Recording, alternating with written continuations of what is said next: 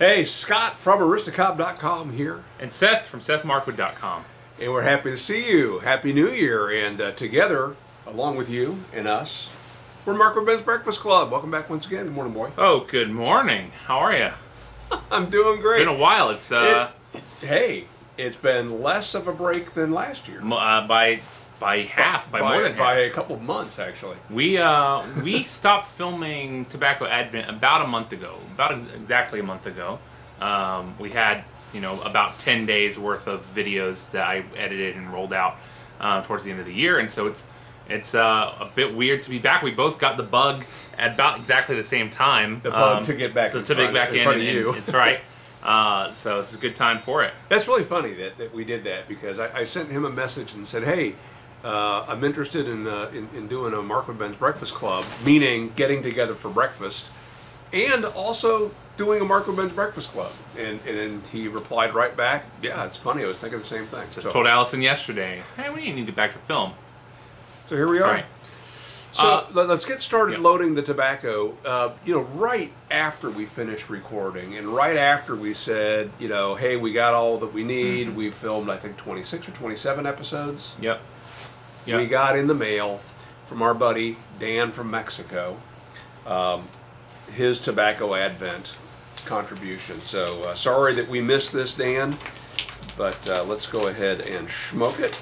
And as we said See at what he the, has to say about at the that. end of the year, um, we are going to, for the foreseeable future, be smoking the samples that were sent by uh, people who sent duplicate samples um, at the end of the year. So thank you, everyone, for Oh, that. that's interesting. Merry Christmas! I realize that I'm kind of late to the game for Tobacco Advent, so don't feel any obligation to use this tobacco for Tobacco Advent this year. Last year was the first year for me participating in Tobacco Advent, and I think it's great fun. Last year, I sent in two different tobacco blends Clark's Blend, which Seth kindly renamed Churros, and Early Morning Pipe. By the way, I've officially gone with Seth's recommendation and have renamed that blend Churros. This year, I'm sending you Old Shenandoah Appalachian Berry. I really don't smoke a lot of aromatics anymore, but this is one that I still keep in my rotation. I will generally smoke this blend in particular amongst mixed company because of its sweet aroma. I hope you all enjoy this blend. Take care and God bless. Dan, Deep South Texas. Awesome. Thank you, Dan. Thank you, Dan. Uh, I'm smoking mine in my uh, Cobsby since, you know, we did that for Tobacco Oh. Advent. Fair play. Fair point. Yep, here, here's yours. And I'm I just, because it's a smaller bowl, I had to, had to dump some of mine into your bowl. Oh, That's- I okay. that's okay, okay. Got it. Got it. Got it. Got it. All right. Thanks, Dan. That's fantastic. We appreciate that. Dan, I don't know if you even know this. Dan won the drawing from the people that uh, did VRs Oh, cool. over uh, over Well, the congratulations. And so, for that as well.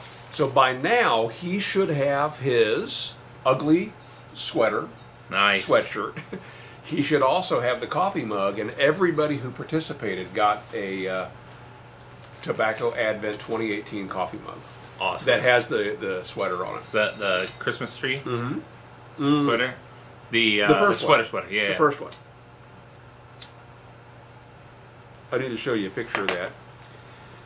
At what what we did. So it's really cold today in North Carolina. It's uh, outside. It is, uh, 13 it's dropping down to tonight. but it's already down to freezing right now. When I came into the shop, it was 40 degrees. I came in about an hour and a half ago or so. Got the fire going, got the heater going, and uh, I, we've explained this before. We're not in a basement. We're actually in a building that I rent that I have uh, my wood shop in, and we're in the very back room, what I would call the bench room. Um, gosh, this is not even a quarter of the size of the shop, um, but it's it's all a mess. You know, when we when we moved, when my son-in-law moved, there's a there's a skateboard ramp in the other room in the way right now. Got Anyway. stuff from my wedding sitting right there. Parts of the nacho cheese fountain uh, from 10 years ago sitting there, and stuff all over the place. A clock from competition with Jay. I can't bring myself to burning your uh, your cheese fountain. Uh, well, I've tried to bring myself to burning your clock, but uh, so we're even, I We've, guess. we've used pieces of the cheese fountain. If you recall, when I made the self-watering planters, I used uh, the pumps off of a couple of Mm. them. But anyway, um, to start the year off, we thought, well, perfect time for us Oh. to re- replace our clock. So, uh, boy, if you wouldn't mind doing the honors, Sure. We'll see if you can do that. Actually, has two places to. Uh, This is the official Markwood Men's Breakfast Club broken clock. So the shopsmith clock will come down.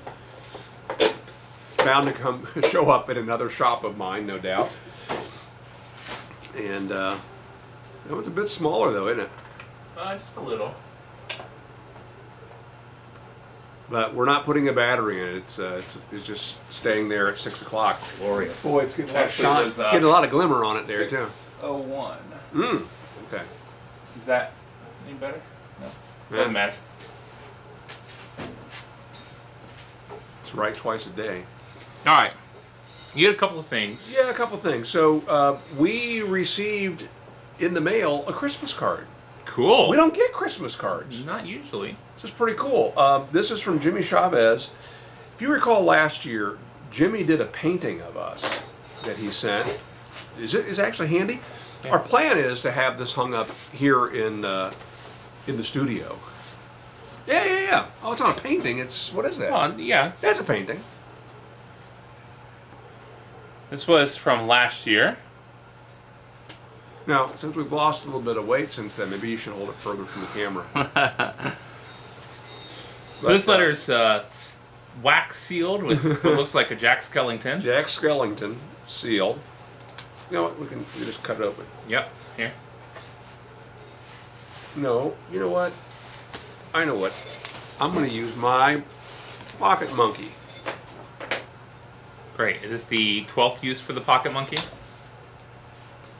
Should they, should they list this on the site? they do list it on the site. Look at that. Look at that. Perfect.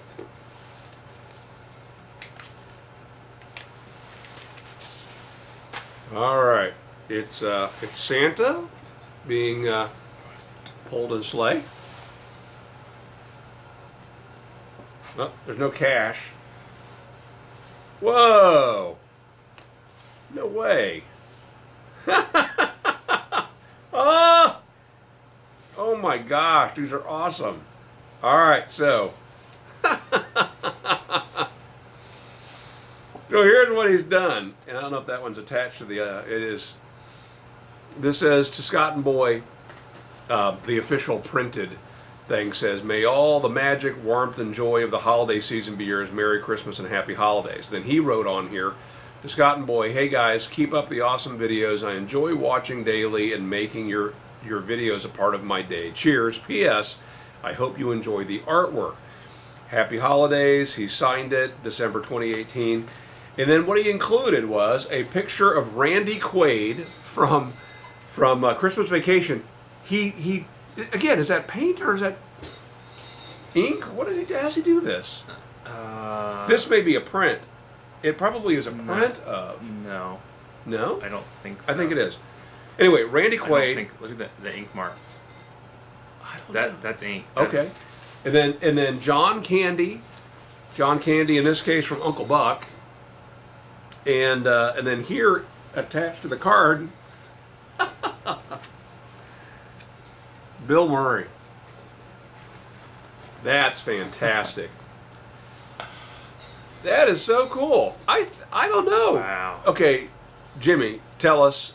Did you did you draw these individually, or is this a print? Because it should be a print. This is something you should be That's printing Awesome. if you aren't. Thank Wow. you. Dude is All right. talented. He's got stuff on Facebook. He puts stuff on on Instagram. Um, I'm not sure how active on Instagram. More Facebook, but anyway. Wow. Uh, it's official. I'm, I'm We- honored that you sent that. We've got to so buddy. much shop artwork now that uh, we need need a place to display it. Yeah. You smoked this at all? Yeah. So, one of the things I wanted to talk about, and maybe you caught it on the Aristocob channel, um, there's a gentleman in the YTPC named Danny Shore um, who, at one point, uh, his channel started to make a little bit of a turn and he started reading books on pipe smoking. and uh, he would just you know, hey, chapter one, and he would read. And, and typically he wasn't putting himself on camera, put the camera on his on his bench or on something that's uh, around him. At one point, I guess he got dinged because there was a TV playing in the background, and that was enough for Oh. the YouTube bots. To, Copyright. Yeah, yeah. And uh, he started reading a book called The Pipe. It's about a it's a mid-century. Uh, I think it was 1954 was when the book was published, and it's a tough book. But uh, he was at the time starting to feel the onset of what we now know as brain cancer, and uh, was was having trouble with uh, with reading. The text is hard enough to read. You don't need to have brain cancer. It's Right. it's a tough read. It's written very poetically and very flowery. And um, in in a meetup in uh, Dayton, Ohio, with uh, Harriet Herfer and her husband Hugh, Hugh and Harriet Herfer, if you will, They sent uh, some tobacco. Yeah, they did. They were telling me that uh, uh, along with Sue Dunhill, they had started this project to start reading through that book and uh, to finish it for Danny. And so uh, I, I think that they, they had already targeted some folks to read full on chapters, and so I was lucky to get a little portion. And so the portion I read was uh, How to Empty Your Pipe Okay. which I'm reading this book, and while I'm reading it, I'm reading it for the first time, and I'm laughing at it because the guy's really interesting the way he writes. And uh, he- one of the examples is he says, you know, something you don't want to do is you don't want to beat the pipe, like you wouldn't want to beat it on your shoe. And there are these little corks and things you can put in an ashtray and hit them. Uh, but he, he said, you know, you want to be careful that, that you don't you don't empty your pipe that way in a restaurant. Otherwise, your waiter will think you're repeatedly calling him to your table. hey. Anyway, a whole bunch of them have been posted. Um, I haven't seen an official playlist yet. I'm sure there will be an official playlist. Sue has has published within the description of her video, which we will link here, um, at least the starts of that playlist, and I think ultimately she or someone needs to create the official YouTube playlist. But I, I got a copy of the book after reading my part. I really like it. So open that to any page and, and read half a page, and you'll see what I mean. And read it out loud if you would, please. Boy is what we call a reader. I mean, I can read. Where's the page about corncob pipes? it's actually in there. I know. Choice of a briar. It Choice mentions of maize. tobacco. Maize. Okay. Uh, filling the pipe. Having passed and reviewed whatever concerns the pipe, we now find ourselves faced with three definite and concrete matters. The pipe we have chosen, a packet of tobacco, and the flame that is to serve as a liaison officer to bring these two essential factors into communication one with the other. We are to see how the contents should be packed in the container, how it should be lighted, and then smoked with the maximum of delight to the gustatory. Oh my goodness, gustat gustatory olfactory nerves. As this book is written as much for amateurs as for professional smokers, for novices as for hardened practitioners, it has been thought best to support ourselves furnished with a briar that has already been smoked. Instructions on seasoning the pipe will be given later. So, as you see, Yeah. that's a that's a tough book to read, but I really enjoyed it. I enjoyed my part. I enjoyed listening to Danny reading his parts. I, I want to own this book, so I went on eBay and found a clearly a used copy. I love this picture actually that uh, shows how to use a nail as a pipe rack. It's a pipe rack. Yeah, Oh, that's this funny. is a section on the pipe rack. Ah, there's an eyelet Use- or an, an, an eye bolt or eye screw. Two eye screws. That's funny. Moral advantages. Moral advantages of the pipe rack. Okay, what's a more? What is a moral advantage of a pipe rack? There can be no doubt that it is more attractive to look at pipes in a rack than to see them jumbled in a box. One of the inconveniences of this latter state of confusion is that the smoker has to examine each separately when choosing one to smoke.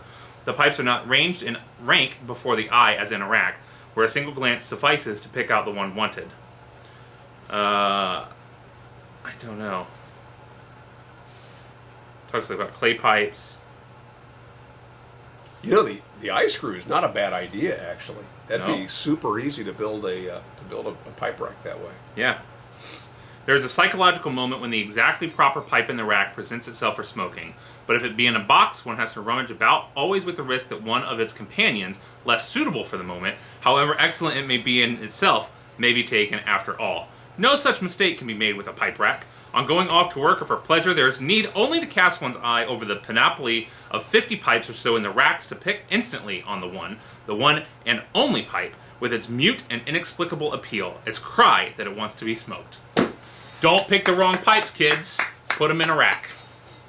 That's, That's- interesting. That's really awesome. Yeah.